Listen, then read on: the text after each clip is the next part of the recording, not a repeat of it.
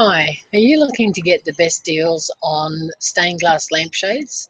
Well, stick around because by the end of this video, you may find that you've got some really good options. Just let me screen share with you and um, show you what it is that I do.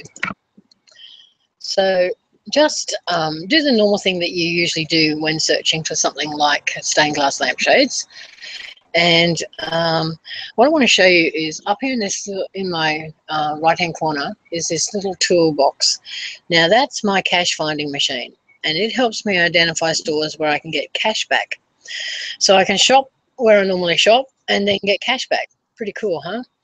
Now, if you want to know how that works, I'll put a link below and you can go ahead and find out for yourself and then sign up for the free account or a paid account. Um, I chose the paid option so that I can get the maximum cash back possible. So here's the stained glass lampshades and here's a site that gives me cash back. And it tells me that I can get between 5.2 and 11.2% cash back depending on the type of account I have.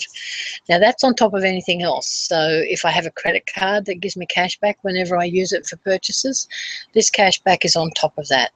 So just look around like you normally would, do your price comparisons, and um, if you find that the shop that offers cashback um, also has the lamp that you like and is a good price, then go ahead and make your purchase.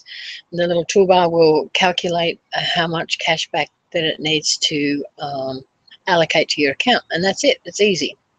So I certainly hope you found the, this short tutorial helpful, um, that you can find the things that you want to buy and then get cash back on them.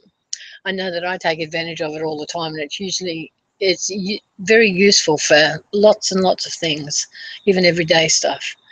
So if you like the video, go ahead and click the like button, comment on it, share it with friends, put it up on Facebook or Twitter. Why not give it to somebody who can benefit from it? Because that money that I just showed you, that cash on the table um,